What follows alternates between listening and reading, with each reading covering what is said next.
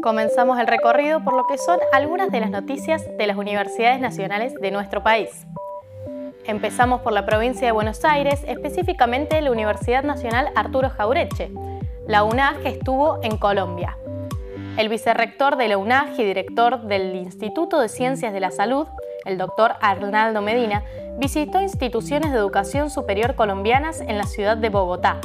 La Universidad de La Sabana y la Universidad Uniminuto fueron las anfitrionas. Recorrieron las instalaciones de la Facultad de Medicina y la Clínica Universitaria de la Unisabana.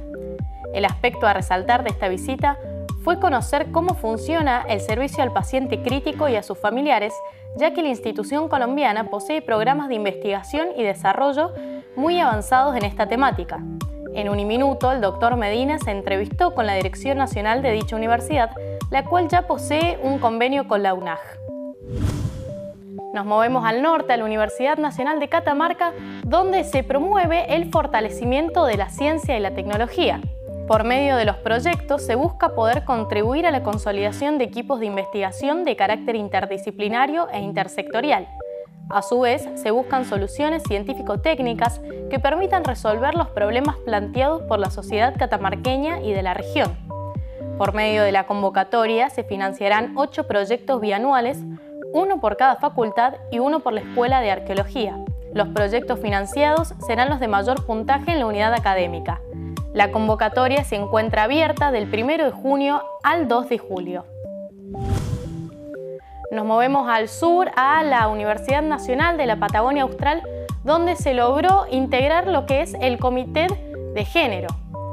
La UNPA asumió la representación del CEPRES Sur con el objetivo de incorporar la perspectiva de género en las casas de estudios de todo el país. El espacio está conformado en el ámbito del Consejo Interuniversitario Nacional, la referente institucional es la magíster María José Leno. El comité ejecutivo quedó conformado por las universidades nacionales de Misiones, Jujuy, Cuyo, Rosario, Río Cuarto, Patagonia Austral, La Plata, General Sarmiento y San Martín.